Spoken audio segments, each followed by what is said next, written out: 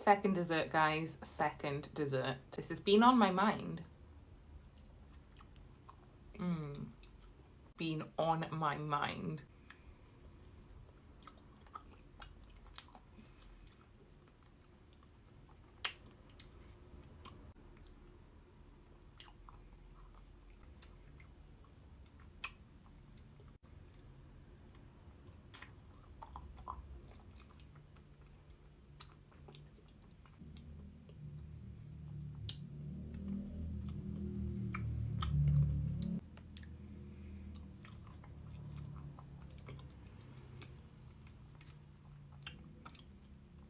This beautiful mint colour.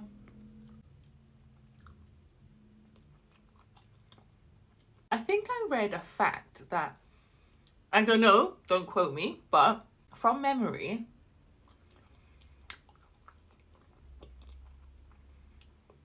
naturally butter is green, but they add colour into it so that it's more pleasant on the eye. Isn't that funny how different foods suit different colours? Like yellow ice cream would not look good, or would it?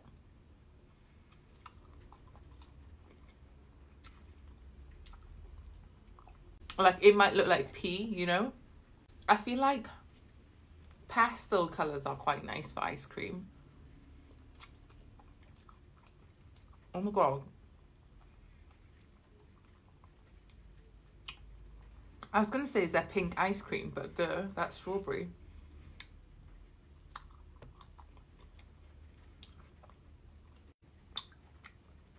What colour ice cream looks the most appetizing to you guys?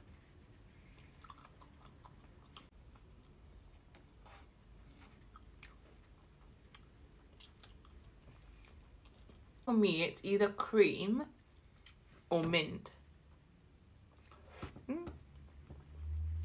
Mm hmm I used to be a massive fan of chocolate ice cream, but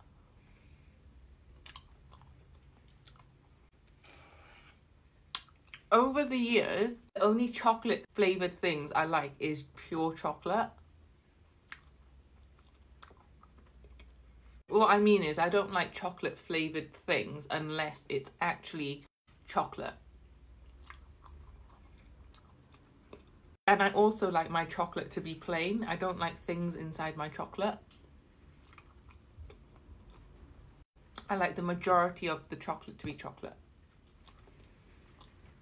You know? Like, for example, Galaxy or Dairy Milk, I would rather it have none of those fancy bits in it nuts, fruit, biscuits, nothing. Just a pure slab of the chocolate.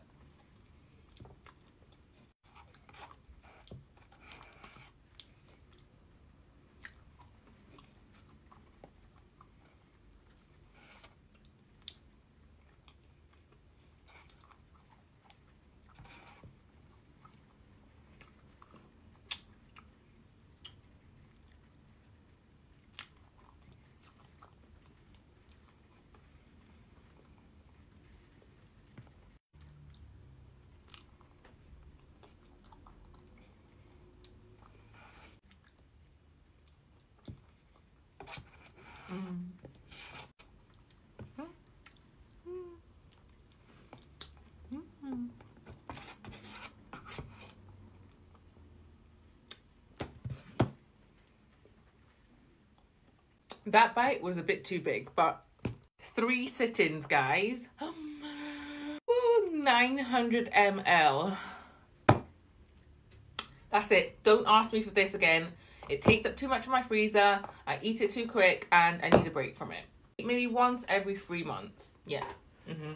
That's me done. I'm done. I'm done. I'm done. It is 10 to 9. I'm going to watch Love Island now. I'll be editing this slowly while I watch it, so you're probably going to see this way later. Anyway, peace.